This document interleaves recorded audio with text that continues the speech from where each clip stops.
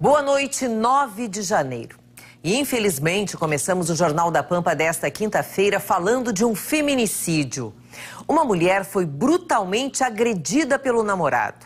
Ele usou vários objetos para causar os ferimentos, mas os golpes fatais foram com uma bomba de chimarrão.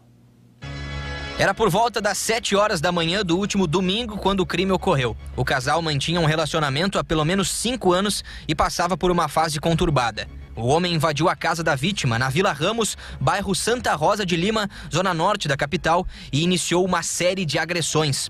Assim que foi contido, ele confessou o crime aos policiais acabou para os brigadianos confessando o crime e dizendo o que tinha acontecido, que ele tinha agredido com, com soco, com chute, com pontapé, com cadeirada, com garfada, enfim, ele usou todos os meios que ele dispunha naquele momento e acabou matando esta, esta vítima de uma maneira brutal, com estocadas de uma bomba de chimarrão.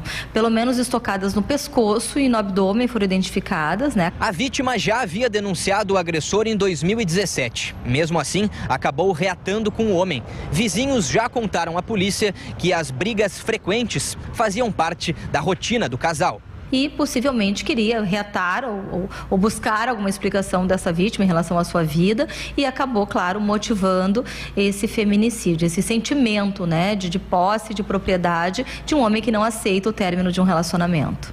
A mulher ficou hospitalizada por 24 horas e morreu na segunda-feira. O homem está preso de forma preventiva. Além de feminicídio, ele responderá também por violação de domicílio e por tortura contra a vítima.